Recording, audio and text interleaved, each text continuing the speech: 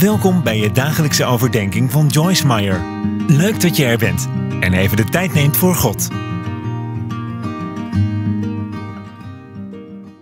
Jouw overdenking voor 15 augustus.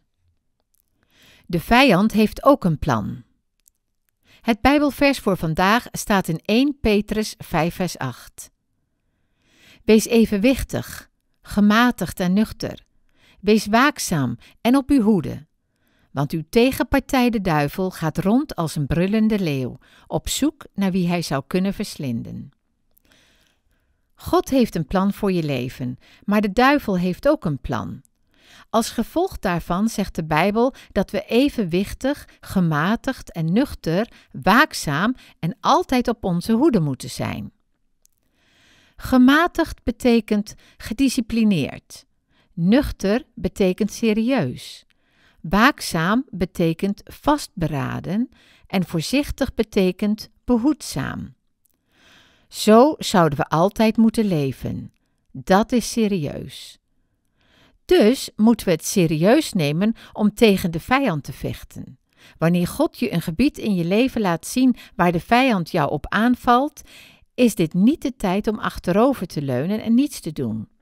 Het is tijd om dit serieus te nemen en terug te vechten tegen Satan. Gods plan voor ons is om meer dan overwinnaars te zijn in Christus. We hoeven niet te leven om slaaf te zijn volgens het plan van de vijand. Je kunt nu direct beslissen om te doen wat je moet doen. Neem God serieus. Volg de ingevingen van de Heilige Geest en blijf op je hoede voor de vijand.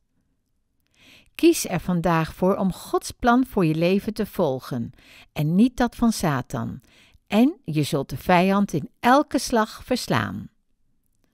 Voel je vrij met mij mee te bidden. Heere God, ik kies voor uw plan, niet dat van de vijand.